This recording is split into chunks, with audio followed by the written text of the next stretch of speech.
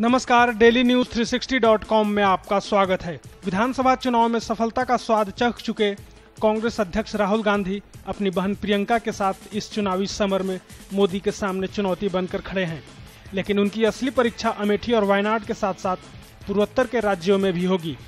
दरअसल एक वक्त था जब पूर्वोत्तर कांग्रेस का गढ़ हुआ करता था, लेकिन आज कांग्रेस का ग्राफ यहाँ हाशिए पर पहुँच चुका है। यहाँ की 25 लोकसभा सीटें चुनावी समीकरण बिगाड़ने के लिए काफ़ी है। पूर्वोत्तर के इन राज्यों में असम का रोल सबसे बड़ा है। ये राज्य खुद में 14 लोकसभा सीट समेटे हुए है।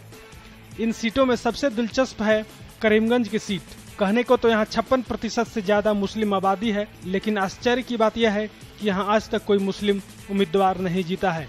फ़िलहाल इस सीट पर ए का कब्जा है। बात करते हैं इस सीट के इतिहास की तो इस सीट पर पहली बार लोकसभा चुनाव उन्नीस सौ बासठ में हुए।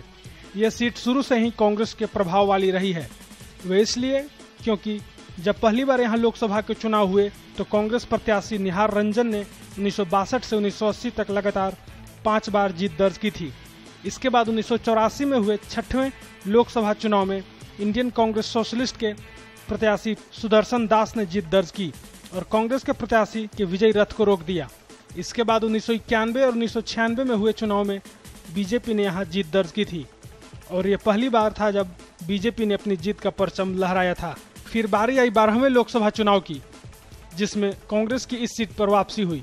उन्नीस के चुनाव में कांग्रेस प्रत्याशी नेपाल चंद्र दास ने बीजेपी प्रत्याशी स्वप्न कुमार दास को दस हज़ार चार सौ अड़सठ मतों से हराया।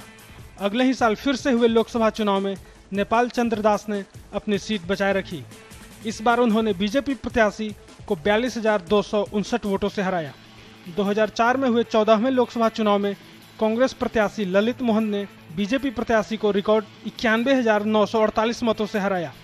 2009 के चुनाव में ललित मोहन ने फिर से जीत दर्ज की। इस बार उन्होंने एआईयूडीएफ प्रत्याशी राजेश मल्लाह को उन्यासी मतों से हराया। आपको बता दें कि असम में कुल 126 विधानसभा सीटें हैं, जिसमें से करीमगंज लोकसभा सीट में कुल आठ विधानसभा सीट हैं, जिनमें चार पर एआईयूडीएफ दो पर कांग्रेस और दो पर बीजेपी काबिज है। आपको बता दें कि राधेश्याम विश्वास यहाँ के वर्तमान सांसद हैं, जो कि इंटर तक ही पढ़ाई किए हुए हैं। सोलहवीं लोकसभा चुनाव में एआईयूडीएफ प्रत्याशी ने बीजेपी उम्मीदवार कृष्णा दास को रिकॉर्ड एक लाख दो हज़ार चौरानवे मतों के भारी भरकम अंतर से हराया था। राधेश्याम विश्वास की संसद में उपस्थिति अट्ठासी फ़ीसदी से ज़्यादा रही है। उन्होंने अब तक 224 सवाल पूछे हैं, जबकि छियासठ बहसों में हिस्सा लिया है। उन्होंने अपनी सांसद निधि में से 14 करोड़ 6 लाख रुपए अब तक खर्च किए हैं। धन्यवाद।